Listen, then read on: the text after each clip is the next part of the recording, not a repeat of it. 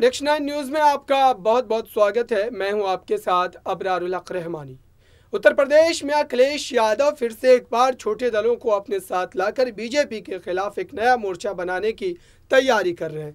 दरअसल इस समय पल्लवी पटेल से लेकर के कई ऐसे छोटे दल हैं जिसको लेकर के अखिलेश यादव एक नई रणनीति बना रहे हैं। लेकिन समझने वाली बात यहाँ पर यह है कि बीजेपी के खिलाफ क्या इन छोटे दलों के साथ आने से मात्र यहाँ पर सत्ता का परिवर्तन करवाने में अखिलेश यादव सफल हो पाएँगे? हालाँकि बड़े दलों की बात की जाए तो मायावती इस वक्त पूरी तरीके से विपक्ष से अलग थलग नज़र आती है, उन्होंने साफ़ तौर पर इस बात का ऐलान भी कर दिया है कि वो किसी भी तरीके से विपक्ष के किसी भी बड़े दल या छोटे दल के साथ गठबंधन का हिस्सा नहीं बनने जा रही है। तो ये सारी चीज़ें बतला रही है कि बीजेपी को कितना ज़्यादा आसानी जो है पैदा हो सकती है।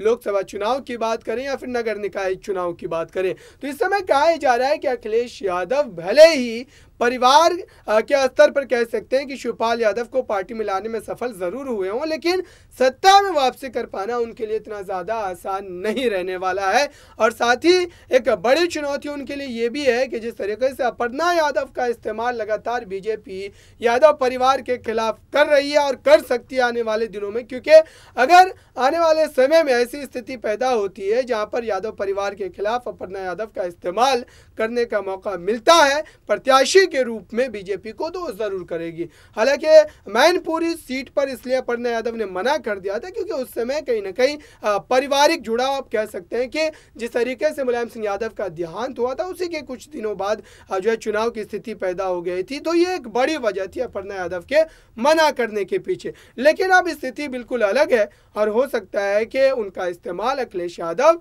या यादव परिवार के किसी भी बड़े चेहरे के खिलाफ बीजेपी करेगी और कहीं ना कहीं वोटों में एक बिखराव जो है वो देखने को मिल सकता है। इस खास रिपोर्ट में बस इतना ही।